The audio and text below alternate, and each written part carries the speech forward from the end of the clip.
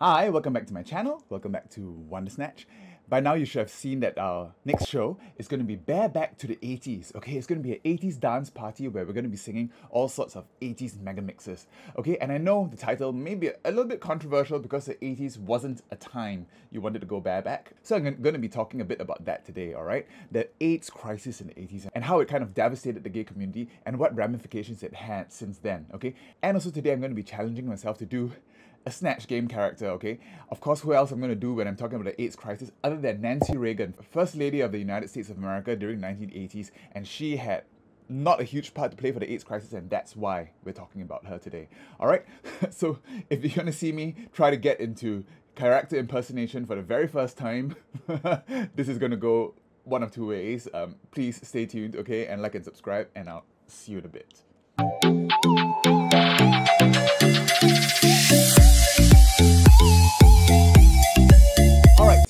Okay, so blocked everything. Okay, so today I don't, don't even need my face tapes because I don't really need that lift if I want to get that old lady kind of a droopy lid. okay, so, okay, so Snatch Game. This is something that's always bugged me that I've never really done celebrity impersonations and I hope I can pull this through. Okay, um, yeah, stay tuned to the end where I, where I answer a few Snatch Game questions in character. Okay, another PSA. In gay lingo, barebacking does not mean riding a horse without a saddle or some fashionable design of a dress. Okay, barebacking is actually the practice of having sex without a condom. Okay, so um, obviously in the 80s this was not encouraged, okay, and probably everyone was so terrified of catching HIV that nobody ever barebacked.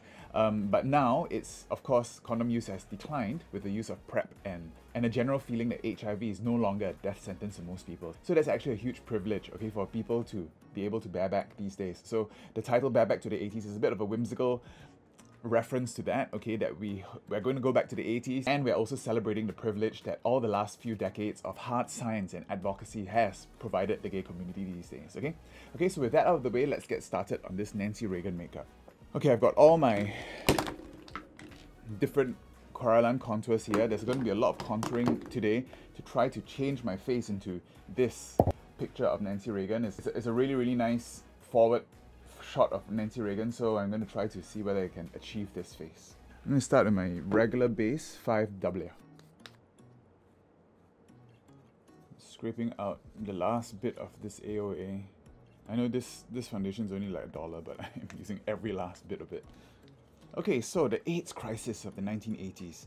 This was a really dark time in LGBT history. The virus, HIV, appeared on the scene probably in the late 70s, but it took a few years for people to realize what was happening. When people started to die in very, very strange and unusual ways in the 80s, okay? And most of these victims seemed to be gay men, okay? So people were turning up in EDs like suddenly breathless or having really weird rashes and sores that people couldn't explain. And of course, this wasting and weight loss, okay, which made them look really, really emaciated.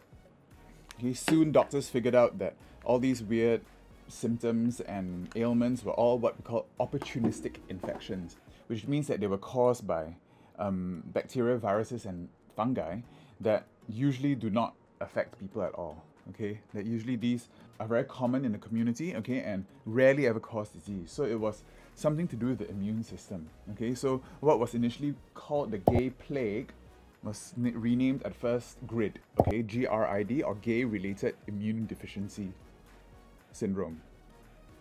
Okay, and later on this was changed to AIDS because they wanted to.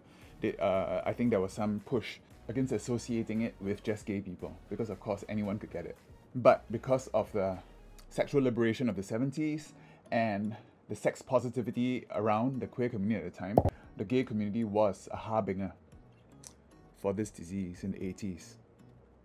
Okay, I remember growing up in the 80s and 90s and kind of learning about HIV and you know, when I first came out, of course, it was terrifying that, you know, sex was really something that really scared a lot of, I mean, well, me especially, because, you know, every time you even touch someone, you're, racked with guilt and racked with like fear for, you know, weeks, wondering if you caught anything. And, you know, education was not the greatest, okay, around that time it wasn't so easy just to go online and get information about this. A lot, a lot of what was going around was all myths or fear mongering. Okay, and of course, with the stigma and discrimination attached to HIV, and um, the scary images of uh, AIDS patients, this was, of course, something that really instilled fear in a lot of uh, young gay people in my generation. Okay, so now that the base is done, I'm going to try to sculpt my face into this picture, this contour of Nancy Reagan. Okay? it's going to be completely different from drag makeup, okay? So first I'm going to go in something lighter, so I'm going to go in with 7W, okay? And this time, instead of doing a big round beige rainbow, I'm just mainly going to go on the sides, okay? She has quite a masculine forehead, okay? And she's got really nice cheekbones, so this is going to be more rounded here. And nose contour is much wider than my usual. I'm going to use this AOA contour stick also, which I bought like ages ago and never opened. Okay, I'm going to sculpt out the eye, which is going to be very hollowed out socket kind of thing. Okay, and it's going to go right here, no wing. That is very creamy. Okay, of course, the AIDS crisis has been portrayed in many movies and TV shows.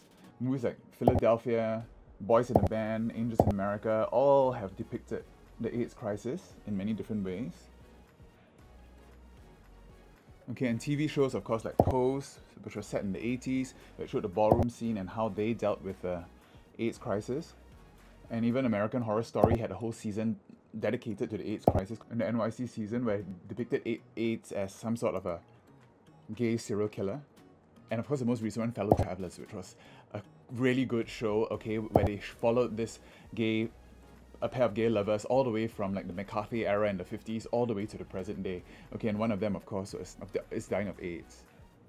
Fellow Travelers was one of the shows which really exemplified how the devastation of the AIDS crisis was really magnified, okay, due to prejudice, internal homophobia, and external homophobia of people making the policies and of people um, in position to help the crisis, okay, the politicians. Okay, I'm gonna blend this out with a brush today. Okay, and of course, a lot of the blame has been put on the Reagans, okay? Ronald Reagan was president from 1981 to 1989, and the AIDS crisis was definitely um, during his watch. Okay, and because he was a Republican and very conservative, he did not even address the crisis until way into his second term. Okay, now I'm going in my highlights. This time in my highlights, I think I'm not going to use so much white, okay, because the white really makes everything look a bit more draggy. I'm just going to use a lighter cream, okay, from my Makeup Forever, maybe that one.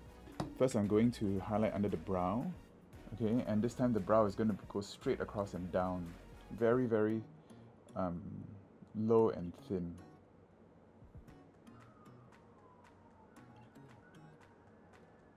Down the nose, quite broad. The apple of the cheeks.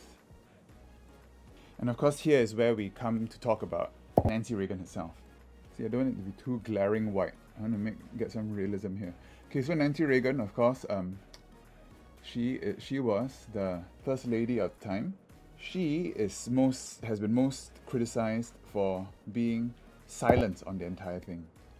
Okay, that she did not even talk about AIDS at all during her tenure in the White House. She was known to be very vocal for other things such as criminalizing drug use, okay, with a Just Say No campaign, but she famously didn't say anything about the AIDS crisis. And it's quite um, sad because, you know, both Ronald Reagan and Nancy Reagan were both actors in Hollywood before they became politicians, okay, and they were good friends of Rock Hudson, who very famously died of AIDS. And Rock Hudson tried to reach out to her and uh, Ronald Reagan, but of course was shunned. Okay, so I think the base of my face is more or less there. You know, I've got wrinkles on my forehead already. I don't even think I need to contour those. Okay, how do I look? Doesn't look like very much now, but um, I'm to powder all this and I'll be right back just to talk a bit more about Nancy Reagan. Okay, so I'm all powdered now. You can kind of see the face shapes there. Okay, I, I'm actually quite pleased with the wig that I styled. It looks quite Golden Girls and everything, but I think that's uh, very Nancy Reagan style too. Okay, going into my Ultimattes. Okay, all neutrals today, no color at all. I'm gonna try to sculpt this face. She doesn't have a lot of blown out like blending and everything like that, but I really need to try to recreate this eye shape, which is a little bit downturned. Okay, so I'm just to get my pencil brush on a dark, I think I'm to use granite, which is a grey. I'm going to start sculpting this eye. Okay, so very straight across, a dip into the nose on the side, to the corner of my eye here. So I'm just going over my eyeball there. Okay, so Nancy Reagan. She was the first lady, as I mentioned, she was the first lady. She was quite a character, and I think she would be a great character for Snatch Game, actually.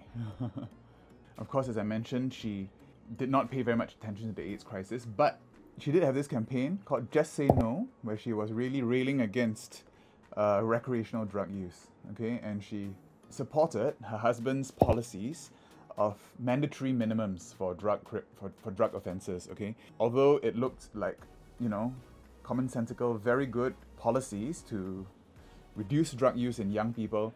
It was enforced in a very unbalanced way, okay, and affected minority communities much more than it did, okay, white communities, okay, because everyone in the 80s were using drugs, okay.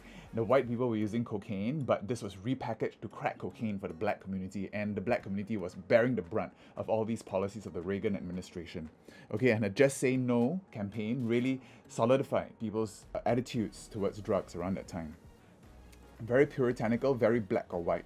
Okay, Singapore, of course, has one of the strictest drug laws in the world. So um, I'm, I am coming from a place where recreational drug use is really almost unheard of.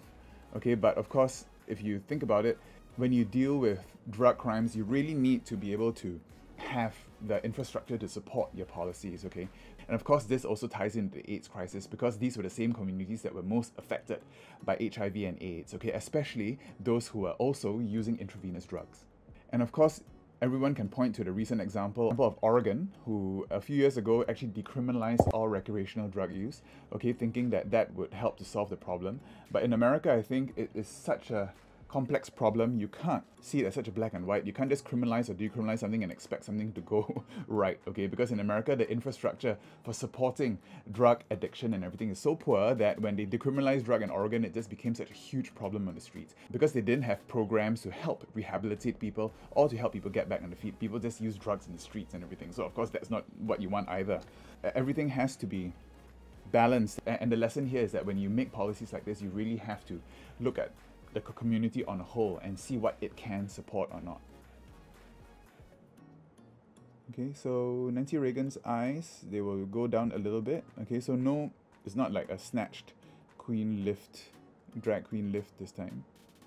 Okay, Nancy Reagan was also a little bit of a kook because um, she was really into astrology. Okay, apparently when there was an assassination attempt on Ronald Reagan, one of the first things she did was to call her astrologer.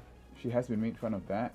Okay, and apparently a lot of the presidential events of the White House around that time were all held on astrologically significant dates. I'm trying to fight the urge of doing a big wing. I'm just going to set the underbrow with a little bit of pink cashmere and almond. Okay, now going in the brows. The brows were thin, of course. Okay, and they kind of like went down like a real woman's brow match. I'm going to try to match my thing. I'm going to use um, chocolate. While she ignored the AIDS crisis, Nancy Reagan was a huge advocate for stem cell research actually. So actually she did have some quite progressive attitudes, okay, and this was mainly because Ronald Reagan himself was a patient of Alzheimer's disease, okay, and there was a lot of stem cell research going on around that time on treating Alzheimer's and other neurological degenerative conditions with stem cells.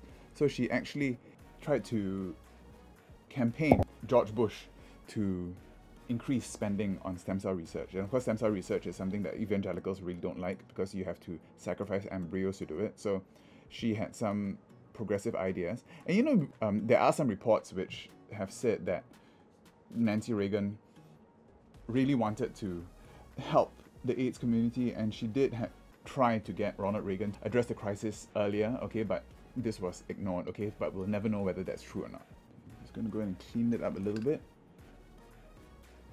Okay, let's go on. Okay, now I'm going to try contouring my face to look like Nancy Reagan. I think I need to deepen up the eye socket a bit more. Okay, so Nancy Reagan died in 2016, okay, of congestive heart failure. And around this time, some really interesting allegations and rumors came out about her.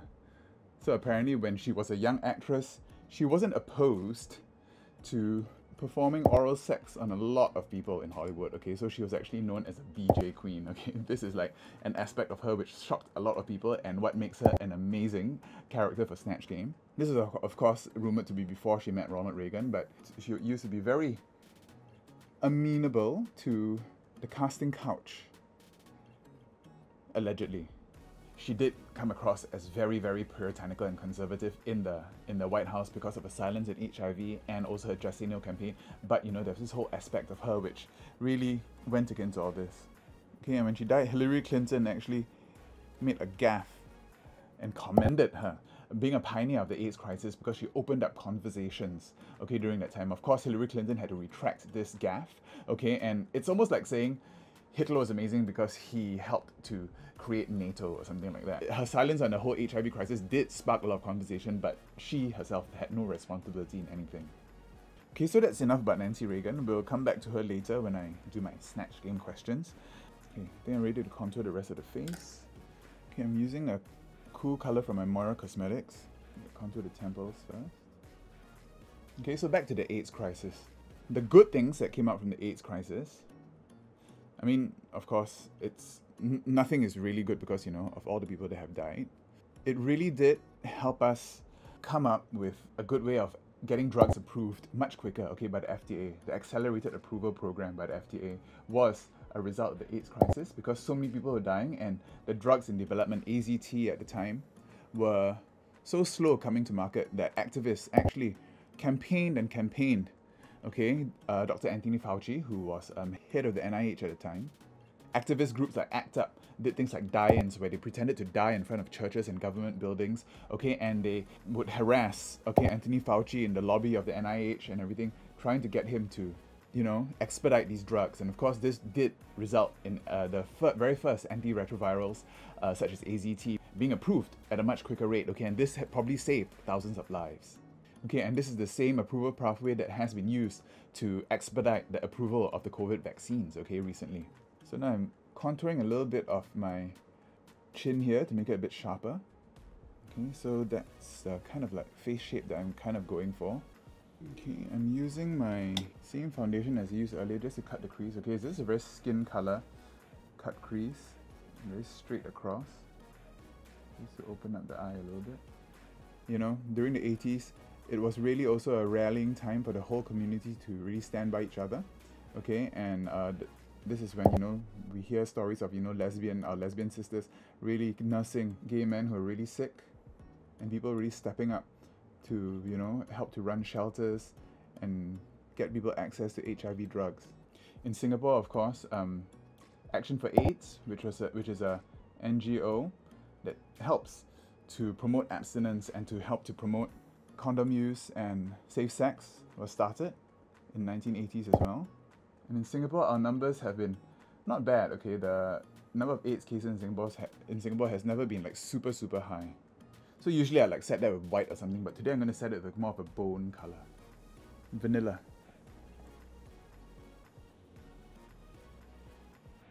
This is a very small wing. And the eye bring that in a little bit. It's amazing how just a little bit of a line here and there, you know, changes your face completely. I really, really find makeup so fascinating like that. I mean, look, this side without that little line and this side with just that little line there just makes it, just gives it that little bit of an oomph. Okay, she has very little under eye darken, deepen this area here so it looks a little bit more real. She has quite nice blush, a very very subtle kind of blush. So I'm be using, just mixing these two peach peach colors together. She did, did seem to wear a lot of blush. You always see her wearing, you know, tons of blush in the apples of the cheeks whenever she made an appearance. Um, there was, of course, this very momentous occasion where they had an AIDS quilt, where people managed to put up the names of people who have were lost to the AIDS crisis. It's one of the largest piece of community folk art, okay, in the world, and it first debuted in the Washington in the mall in Washington and has been displayed in many places all around the world since then. So the nose is going to be a bit broader, and you need to contour the tip of the nose to make it look a little bit different too. So using the same sculpt and bronze, I'm bringing the nose contour down much wider than my usual nose. To deepen up some of the lines on my face. Some of the bad things that have come up with, from the AIDS crisis was, of course, all the policies, okay, and laws that came around during that time. There was so much stigma and fear. A lot of countries made laws that actually criminalized, okay, the movement of people with HIV, such that you know some some countries would not even let people who are HIV positive enter their enter their shores. Okay, and you know even in Singapore we had laws that uh, that wouldn't allow immigrants who are HIV positive to move here. Okay, just contouring a bit of a chin. And I'm just reshaping the face a little bit. You can see my face is starting to take shape. Okay, Nancy Reagan style. She does have a little bit of a eye bag here. I'm just going to contour my own eye bag. There were also laws that came about that um, that wouldn't allow any gay man to donate blood. Okay, for years. Okay, I think they only recently lifted this law in America. Okay, but you know, if you were gay, you just could not give blood because of the risk of HIV. When, when obviously anyone could get HIV these days. Okay, the nose is a little bit pointed this way. Okay, Singapore recently also had a law that would criminalize people for having sex with someone without telling them the HIV status. Okay, and this law was recently just struck down a few weeks ago, which is, you know, quite a big deal because this actually helps people realize that, you know, having HIV itself is not a criminal offense, okay? And if you get treatment, okay, with all the new technologies that have come up these days, which I'm going to get into later, it's not a death sentence and you shouldn't be held liable, okay, if you protect yourself and be responsible for your own health these days. Okay, how's that going? Do I look? Hmm, yeah, starting to come together. Okay, um, I think I need to add a few few more wrinkles and everything. Now going back into my pencil brush, I'm going into the darker shade just to accentuate everything. Okay, just to give it a little bit more shape. I'm going over my nostrils to give this the nose a little bit more definition contouring the side of the nose. Okay, I'm just going to add, add a few more of these details here and there. Okay, and I will be right back. I'm not sure if I look like Nancy Reagan. I just look like a maybe just a any generic old person. I think maybe the hair and the jewelry will will help to you know pull this together. But yeah, okay. So just gonna go into my highlights now. I've been using this Vampire Veil recently and this is like really good. It's almost as good as the MAC Shimmering White. Okay, just using this to accentuate some high points on the face. Okay, using this domed pencil brush. I'm just going to highlight the nose here. Just, just looking at the, at the reference picture and seeing really where all the high points of her face is. So definitely there think under the eye, she also was quite bright here. Can you see all the these little bits of white really make such a difference. All this shading, put some under the brow. There are some effects of the AIDS crisis which I think there's some interesting hypotheses that I've heard. Okay, Dan Savage, who hosts his own podcast for Sex Advice, has this theory, which I heard him say, I'm not sure whether it's his theory or whether he's read it somewhere, that um, the AIDS crisis is the reason why most mainstream gay people are so conservative these days. Okay, he thinks that the more freewheeling, more liberal-minded homosexuals and people in the queer community were all wiped out by AIDS. Okay, and what who were left were all the people who had a bit more conservative bent. Okay, on what gay relationships should look like. This was kind of a double-edged sword, okay? These were the ones that actually fought for marriage equality, okay, where they tried to depict gay relationships being as stable and monogamous as straight couples, okay, and this helped to push forward a sanitized version of uh, gay life. and um, helped to push for marriage equality, but at the same time, it left a lot of the rest of the queer community in the dust. Okay, people like the trans community, the kink community, all were kind of like you know demonized and made to look like othered. Okay, and so this was a polarizing time in LGBT history. And right now, I think the conversations around kink, polyamory, um, asexualism, transgender people, all, all these things are the conversations are only starting around now. So as um, mainstream gays distance themselves from these communities, and you know you start seeing things like gay Republicans, this was, in some people's opinion, a result of the AIDS crisis. Okay, think that's looking pretty good. Okay, now I got to draw on my lips. Lips, she has thin lips, thin waspy lips. Okay, so I don't know how I'm to reduce this to a thin lip. I'm just going to underdraw my lip, okay, and fill it in with a very light peach. Using this RuPaul lip liner, which is not great. Okay, I think I'm going to have to cover my lips. Just cover my lips foundation and try to redraw as thin as I can. Yeah, she had almost no upper lip. Okay, try to fill in this AOA, velvet lips.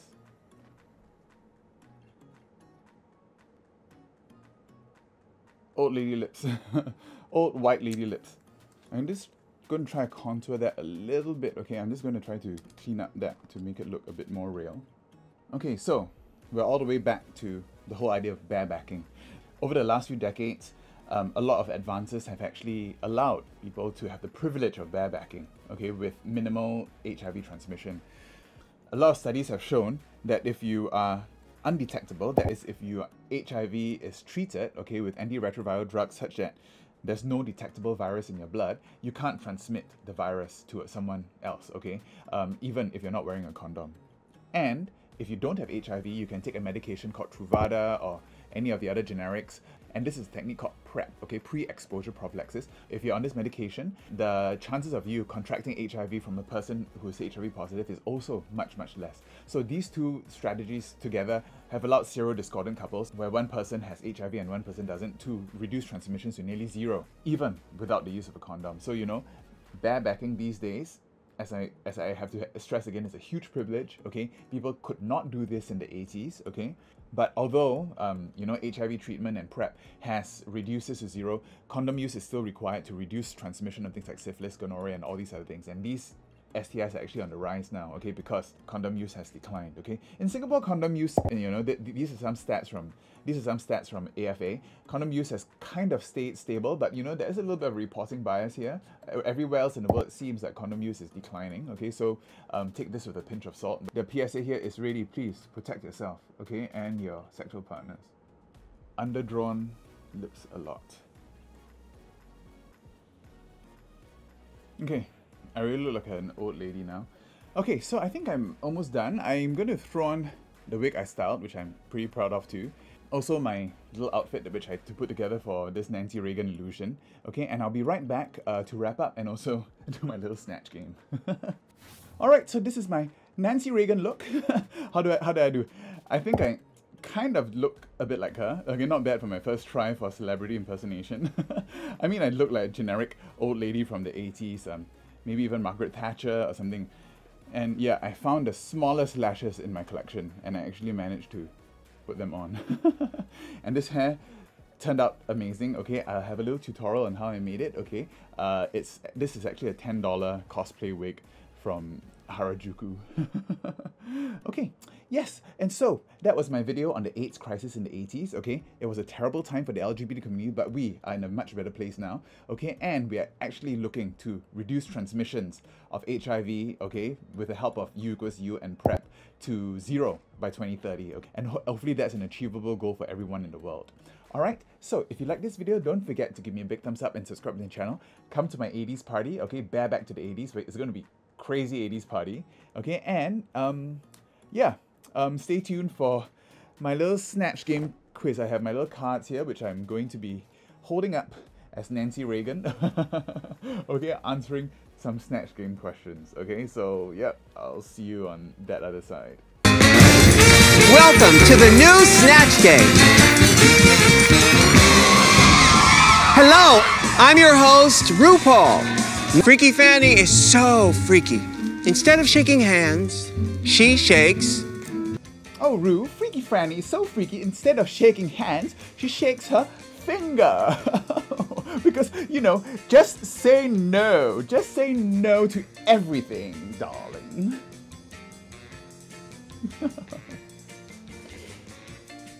I don't know why my Nancy Reagan voice is like a Dame Edna voice. I guess she has a bit of a Tex. Let's, let's try a bit of a Texan drawl. Waroo. Waroo. Waroo. Waroo. Hungry Hannah is so hungry, the only thing that fills her up is a 10 inch. Waroo. Waroo. Hungry Hannah. Hungry Hannah is so hungry that the only thing that can fill her up as a 10 inch tonsil tickler. Did you know that my tonsils have been tickled so many times that I've been called the BJ Queen? oh no. the tonsil tickler. Yeah, these are my old Disney cards. Okay, let's try another one. Sally the psychic is so slutty. Instead of reading your palm, she reads your. Hi, Sally the is so slutty that instead of reading your palm, she reads my silence and whole HIV/AIDS epidemic. Yes, I'm burning in hell right now for my silence and whole HIV/AIDS epidemic and neglecting the LGBT community when they needed me the most funny, but it's true. Alright, okay, if you like this video and you want to see more, please sound off in the comments who else I should do for Snatch Game. Okay, and check out my other videos. I turned myself into a banana for a comedy festival, and also Jessica Rabbit, one of the, my favorite movies in the 80s.